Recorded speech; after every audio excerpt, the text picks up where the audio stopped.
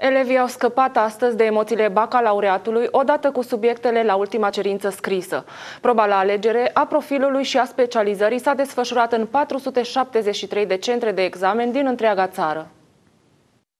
În funcție de cele două criterii, candidații au putut opta pentru una dintre următoarele discipline: biologie, chimie, fizică, economie, filozofie, geografie, informatică, logică și argumentare, sociologie, psihologie. Afișarea primelor rezultate este prevăzută pentru data de 12 iulie până la ora 16. În aceeași zi vor putea fi depuse contestațiile în intervalul orar 16-20. Rezultatele finale vor fi făcute publice pe 16 iulie. Din Dintre candidații înscriși la bacalaureat, aproape 115.000 sunt din promoția curentă, iar restul au absolvit anii trecuți, dar nu au promovat examenul.